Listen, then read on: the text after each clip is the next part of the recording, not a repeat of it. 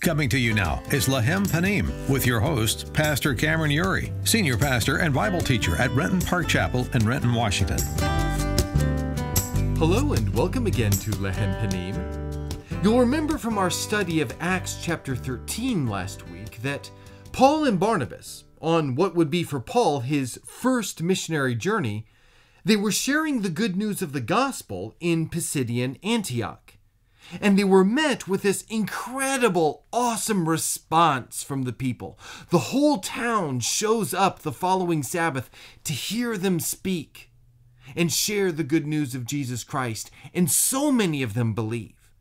And the Gentiles, especially, are encouraged to hear from Paul and Barnabas that the way of salvation has been opened up even to them. However, it says in verses 50 to 52 But the Jews incited the devout women of high standing and the leading men of the city, stirred up persecution against Paul and Barnabas, and drove them out of their district. But they, meaning Paul and Barnabas, they shook off the dust from their feet against them, and went to Iconium. And the disciples were filled with joy and with the Holy Spirit. So Paul and Barnabas do what you and I are to do when we encounter persecution they shake it off and they move on. And the next place they journey to is the city of Iconium, a city that was actually a cultural melting pot of Phrygians, Greeks, Jews, Roman colonists, and it was located about 80 miles southeast of where they had just been, there in Pisidian Antioch. And as always, they started first in the synagogue. It says, Now at Iconium they entered together into the Jewish synagogue and spoke in such a way that a great number of both Jews and Greeks believed. But the unbelieving Jews stirred up the Gentiles and poisoned their minds against the brothers. So they remained for a long time, speaking boldly for the Lord, who bore witness to the word of his grace, granting signs and wonders to be done by their hands. Now, have you ever wished that you could perform a sign or a miracle? I know I have. Um, now, I've done magic tricks ever since I was a little kid, um, illusions. Uh, and I've gotten to experience the joy of having somebody look at me in wonder and amazement, uh, just seeing a compelling illusion. But at the end of the day, they're just illusions. And certainly nothing as compelling as what we find the apostles doing here in the book of Acts. None of their signs or their wonders could ever be mistaken for illusions. And there was irrefutable proof that those whom they healed truly had been lame. They had been blind or even dead. You know, it'd be amazing to be able to perform miracles like they did. And what you and I often think is that if we could just perform signs and miracles like they did, then we would be able to convince everybody once and for all that Jesus Christ is God.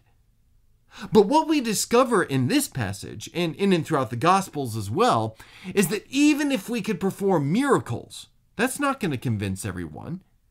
Jesus had said in his parable of the rich man and Lazarus in Luke 16 that if they do not hear Moses and the prophets, neither will they be convinced if someone should rise from the dead. Now, I'm sure that the disciples reacted the same way to that statement that you and I do. Surely Jesus is overstating things. I mean, that can't be true.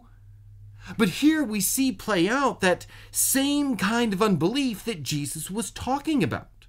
God had given Paul and Barnabas this amazing ability to perform signs and wonders in abundance. But still, not everyone was convinced.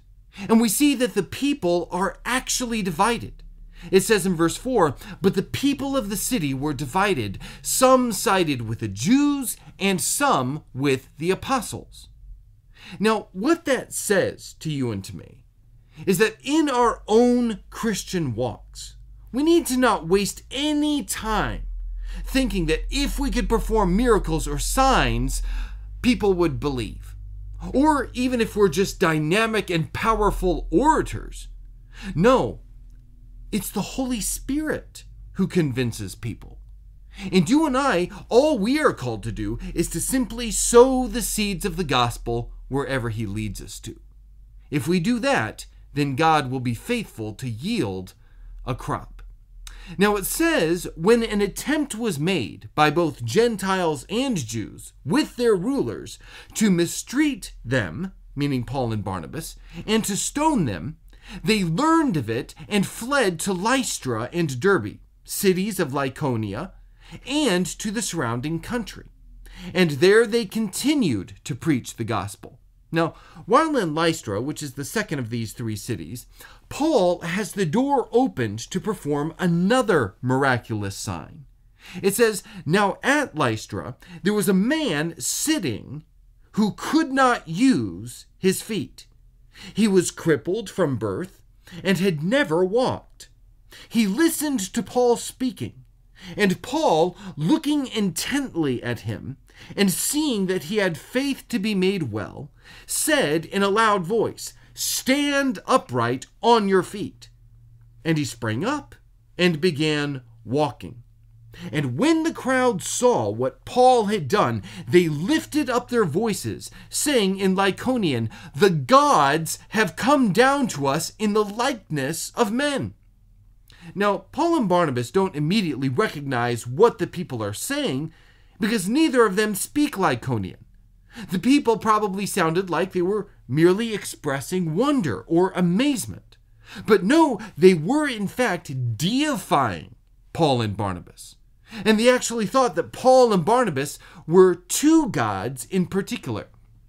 It says in verse 12 Barnabas they called Zeus, and Paul Hermes, because he was the chief speaker. Now, this reaction may seem kind of strange to us, but why the people responded the way that they did was directly tied to a very important piece of local folklore that they had embraced as true.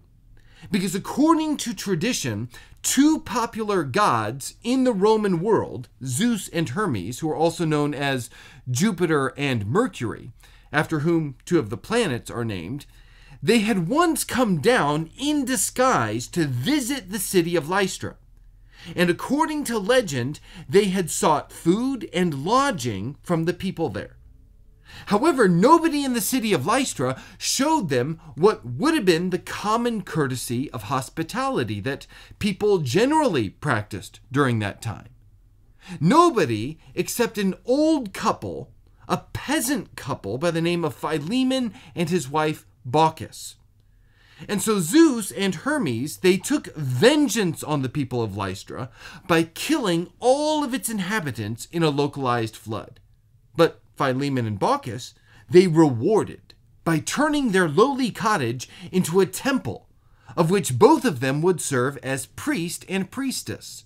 Now, that's important to understand because when the people of Lystra see these miraculous signs that Paul and Barnabas are performing, they immediately put that within the context of their own religion. And they assume that Paul and Barnabas were Zeus and Hermes, once again visiting their city. And so they're very determined that this time, they as a people are not going to fail to give Zeus and Hermes the love and worship that they think they deserve. And so they immediately shower Paul and Barnabas with worship and with gifts. And you know, I think that's a reminder to us that when we go to witness in places that we're unfamiliar with, we need to be sensitive to the context because people are not always going to receive our message the way we want them to. They have their own framework of understanding that we need to take the time to know and to understand if we expect them to ever truly hear the message of the gospel as they are meant to. Now it says in verse 13, and the priest of Zeus, whose temple was at the entrance to the city, he brought oxen and garlands to the gates and wanted to offer sacrifice with the crowds. And that was because, as priest of Zeus, it was his responsibility to lead the people into worship. Now, eventually, wind of what's going on finally reaches Paul and Barnabas, and they finally understand what's happening. And it says, But when the apostles, Barnabas and Paul, heard of it, they tore their garments, which was a Jewish expression of horror, of revulsion at blasphemy, and they rushed out into the crowd, crying out, Men, why are you doing these things? We also are men, of like nature with you. And we bring you good news that you should turn away from these vain things to a living God, who made the heaven and the earth and the sea and all that is in them. Now, I love how open and honest Paul and Barnabas are about the nature of what the people of Lystra believe. They blatantly call the things that they worship vain.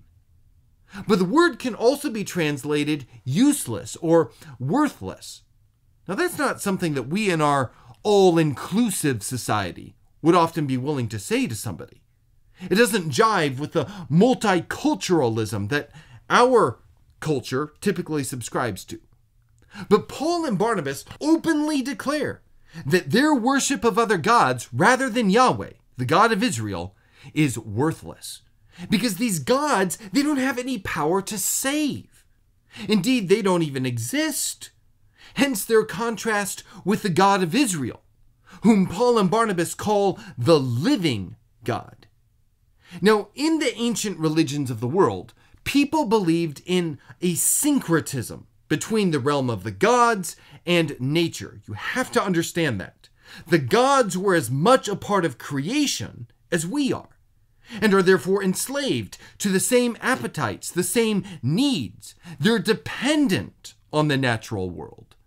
And therefore, they don't have any power to save because ultimately they're slaves, just like you and I are. Now, you and I, we take for granted that God, Yahweh, is the creator of heaven and earth, because that's what many of us have been raised to believe. But back then, no one, except the Jews, talked like that. But that is the reality that Paul and Barnabas try to steer the people to. Yahweh is the maker of heaven and earth, and therefore he is the Lord of heaven and earth, in a way that Zeus, Hermes, or any other false god could never be. He's not bound to our world. That's what is behind this fancy theological word, transcendent that we use in describing God. God's not one with creation. No, he's distinct. And he interacts with his creation not because he needs us, but because he loves us.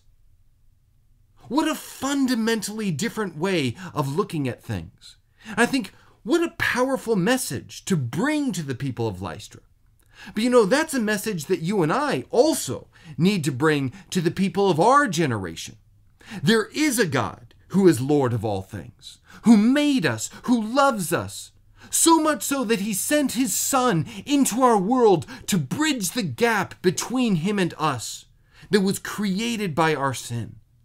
So that in and through coming into a relationship with his Son, we might have our sins forgiven. And like runaway children who have at last come home, we can be brought back into the family of God. And so I want to encourage you today embrace the living God. Pray to Him. Tell Him you want to accept Jesus as your Lord and Savior, that you want to be in relationship with Him. If you do that, you will escape the tyranny of a life lived in vain, for vain things. And you'll find that you have placed at your very center what in fact adds meaning to everything you do and all that you are do so today. Amen. Today's episode of Lechem Panim has been made possible by Renton Park Chapel, a church that is committed to the ministry of sharing the joy of hearing and doing God's Word and to the mission of bringing people into the life giving presence of Jesus Christ in and through vibrant preaching, teaching, Bible study, prayer, and ministry to a world that is in desperate need of the healing touch of Jesus Christ. If you'd like to learn more about our ministry here at Renton Park Chapel or would like to request any of our messages here on Lechem Panim, you can visit us online at rentonparkchapel.org or lechempanim.org. You can also find us on both Facebook and Twitter. We look forward to hearing from you, and thank you for listening. And may you know all the fullness of having in your life the bread of the presence of God.